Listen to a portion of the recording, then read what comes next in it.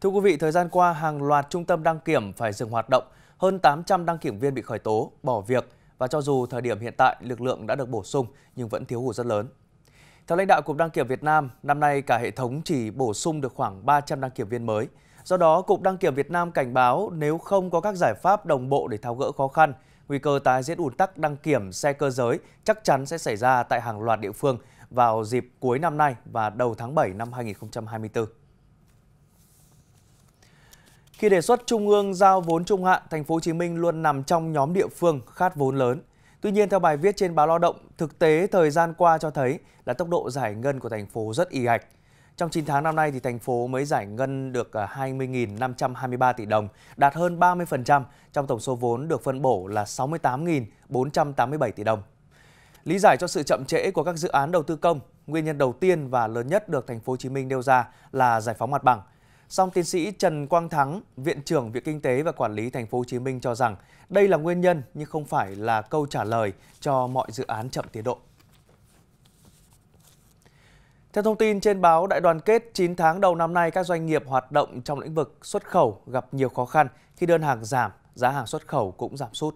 Trong đó thì ngành gỗ, dệt may và thủy sản là ba ngành nghề nổi bật nhất với quá nhiều khó khăn. Nhưng kể từ cuối tháng 9, các nỗ lực vượt khó của doanh nghiệp dần có kết quả. Đà suy giảm chững lại, một số ngành đã bắt đầu lấy lại sự cân bằng. Một số ý kiến của chuyên gia kinh tế dự báo là hoạt động xuất khẩu, xuất nhập khẩu sẽ hồi phục tốt hơn vào những tháng cuối năm do tồn kho hàng hóa tại các thị trường lớn, đặc biệt là tại Mỹ đã giảm đáng kể trong thời gian qua và các nhà nhập khẩu đang có dấu hiệu đặt hàng trở lại. Theo bài viết trên báo Kinh tế và Đô thị, sự phục hồi của nền kinh tế cùng với những dự báo tích cực về tăng trưởng kinh tế chắc chắn sẽ kéo theo nhu cầu bất động sản tăng cao ở tất cả các phân khúc, từ căn hộ đến văn phòng cho thuê, nhà xưởng, bất động sản bán lẻ. Tuy nhiên, để thị trường bất động sản có thể đạt được những chuyển biến rõ rệt, đặc biệt cần thêm nhiều các giải pháp thật sự cụ thể, chi tiết và mạnh tay hơn nữa từ chính phủ các bộ ngành. Các hành động này phải thật nhanh, thật mạnh, thật dứt khoát và triệt để, tránh tình trạng ngắt quãng, đứt đoạn, khiến đà phục hồi bị mất.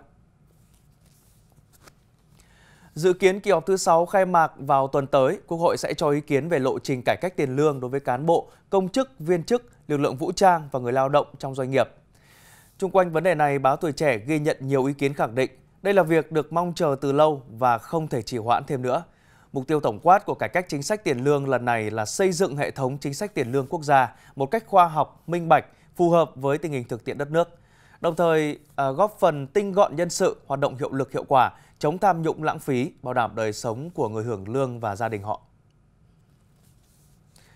Chuyển sang thông tin trên báo Tiền Phong, do ảnh hưởng của El Nino, lượng mưa thiếu, mức độ à, sử dụng nước trên khu vực thượng nguồn tăng nên là khả năng thiếu nguồn nước ngọt trong mùa khô 2023-2024 ở đồng bằng sông Cửu Long là rất lớn. Dự báo xâm nhập mặn đến sớm và sâu hơn trung bình nhiều năm.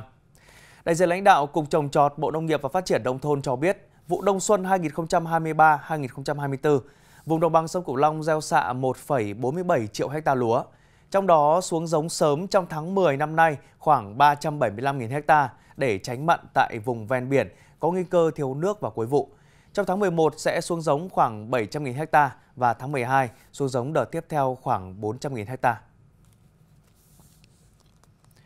Thưa quý vị, từ mô hình cửa hàng áo dài không đồng đầu tiên của hai chị em bà Đoàn Thị Nguyệt và Đoàn Trúc Linh tại số 155 Đặng Văn Bi, phường Trường Thọ, thành phố Thủ Đức, thành phố Hồ Chí Minh. Thì đến nay theo thông tin trên báo Sài Gòn Giải phóng, tại thành phố Hồ Chí Minh đã xuất hiện hàng trăm cửa hàng áo dài không đồng giúp phụ nữ khó khăn, người bán vé số, người đi làm thuê, thợ hồ, người khuyết tật có cơ hội sở hữu những chiếc áo dài truyền thống. Với thông điệp hãy để tất cả phụ nữ đều có cơ hội được mặc áo dài, hàng nghìn phụ nữ khó khăn đã có cơ hội được nhận những chiếc áo dài từ tình yêu thương của người trao tặng và sự ân cần của những bà chủ cửa hàng áo dài không đồng.